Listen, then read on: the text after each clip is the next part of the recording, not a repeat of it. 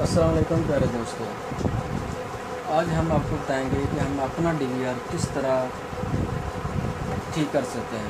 دوستو، یہ میرے پاس ایک ڈی وی آر ہے۔ اس میں مسئلہ یہ ہے کہ یہ ریکارڈنگ نہیں کر رہا۔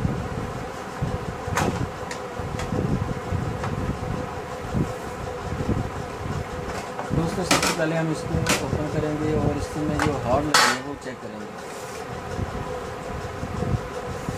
چیک کرنے کا طریقہ یہ ہے کہ ہم جب ڈی وی آر کو آن کرتے ہیں تو مین مینیو میں جا کے ایچ ڈی ڈی مینجر میں جا کے چیک کریں گے ہارڈ شو ہو رہی ہے کہ نہیں۔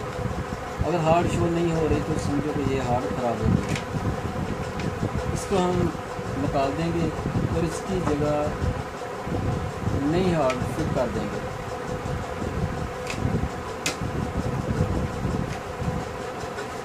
ٹھیک ہے دوستو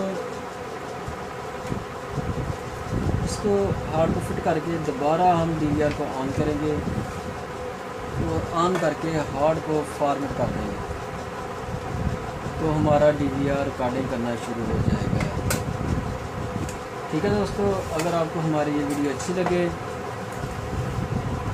تو اپنے دوستوں کے ساتھ بھی شیئر کریں اور ہمارے چینل کو سبسکرائب کریں ٹھیک ہے دوستو اللہ حافظ